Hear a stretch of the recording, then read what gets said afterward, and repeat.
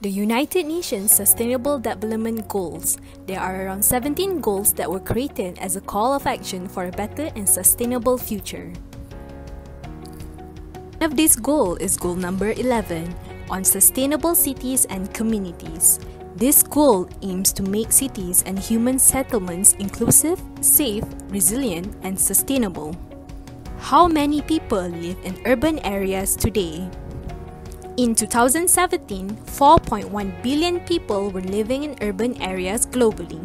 This means over half of the world, 55%, live in urban settings.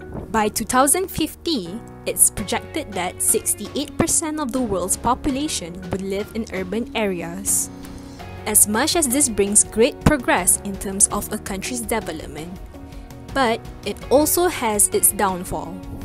One of it is the high population density. This is due to the availability of jobs, effective infrastructure, and public services. Because of these benefits, people are competing for available houses to live in.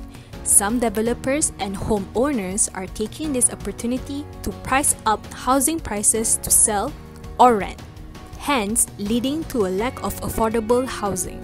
In Malaysia, there are about 73% unsold properties from several development states. How can we achieve sustainable cities and communities? Number 1. Ensure access for all to adequate, safe and affordable housing and basic services and upgrade slums. Number 2. Integrated planning and design for sustainable cities.